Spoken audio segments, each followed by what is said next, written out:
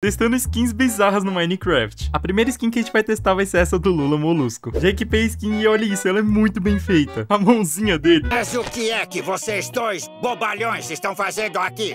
Gostei muito da skin do Lula Molusco, então vou dar uma nota 9 de 10. A próxima skin que eu separei é essa do Huggy Wuggy. E vamos dar uma olhada nela dentro do jogo. Já coloquei a skin e olha o tamanho da mão dele. Caraca, o modelo é muito bem feito, mas as animações estão meio estranhas. Vamos fazer uma dancinha pra ver como fica. É, a skin é muito bem feita, mas as animações são meio bugadas, então vou dar uma nota 7 de 10. A próxima skin que a gente vai testar vai ser essa da Eve do Pokémon. Ó, a skin é muito bem feita, hein? Pera aí, ele pisca? Caraca, eu nunca vi nenhuma outra skin fazer isso. Olha isso, ele mexe o bumbum quando a gente anda. Skin muito top, nota 10 de 10. E a próxima skin vai ser essa do Mario. Olha isso, ele é muito pequenininho. Uma coisa muito da hora dessa skin é que o Mario anda de ladinho, que nem no jogo. É, achei as animações muito bem feitas e a skin também, então vou dar uma nota 9,5.